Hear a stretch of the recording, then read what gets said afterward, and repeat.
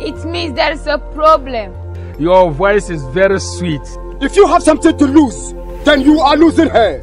She has to be named Elidon.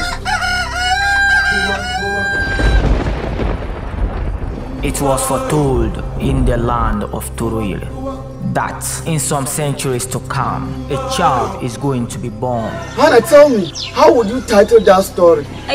I can just look into Faith's eyes as she cries of hunger. My Pakalo company is dead. My king, you talk too much. This child will end up dealing the mother, life imprisonment with hard labor. The mother of this child will kill the child's child. Karim, Mlambo na nya amangumpiana.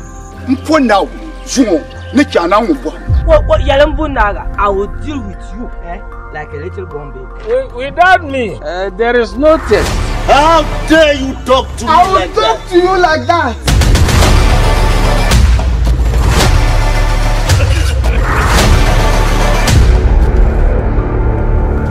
Eventually, the child shall die, but this child, with the help of the mother in prison, will be the one to save the Toroyal kingdom from bondage.